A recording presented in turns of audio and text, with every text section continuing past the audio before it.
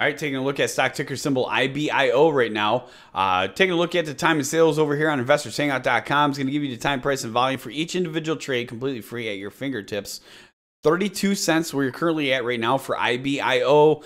The support level 32 underneath there, 20 day simple moving average. You guys have the 30 at the 31.48, very close to the 32, and then the 10 day at the 30 almost at the 31.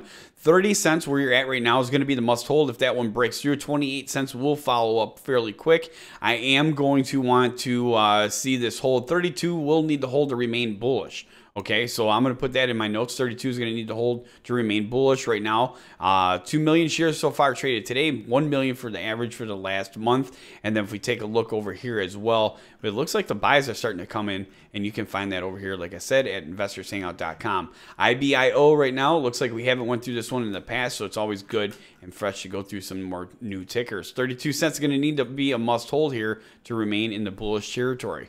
So right now, 32 cents, like I said, resistance currently at 34 34 cents and 38 i think those are going to be the two big players here in my personal opinion. 38 and support levels 32 and 30 32 will need to hold to remain bullish where you're at right now. A break of 38